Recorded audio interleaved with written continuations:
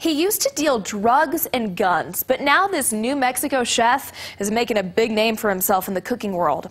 Fernando Ruiz lives in Chama and has won two shows on the Food Network. And he's about to make another national debut on Beat Bobby Flay. We welcome Chef Fernando Ruiz. I'm the executive chef at Santa Cafe in Santa Fe, New Mexico, and I'm 38 years old. If you're a foodie, you might recognize this guy, Fernando Ruiz.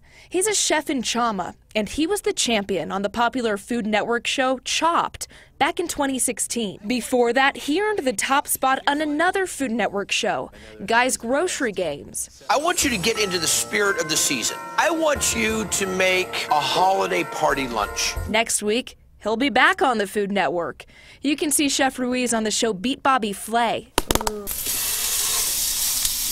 He came into KOB today to give us a taste of his award winning cooking. I'm going to do a pan seared double cut pork chop with a green chili demi glaze. But before he started behind the stove, he spent three years behind bars. I grew up selling drugs.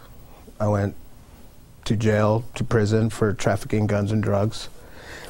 And that was my my way out was food.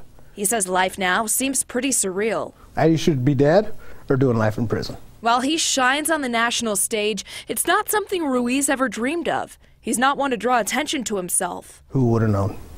Who would have known? Seriously, my mouth is watering right now. It smells so good. It does have that little kick.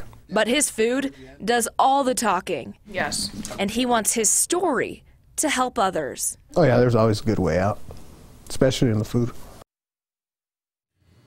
Chef Ruiz's episode of Beat Bobby Flay airs on the 14th at 8 p.m. on the Food Network. There will be a viewing party in Espanola at Blue Heron Brewery. That starts at 6. Anyone's welcome.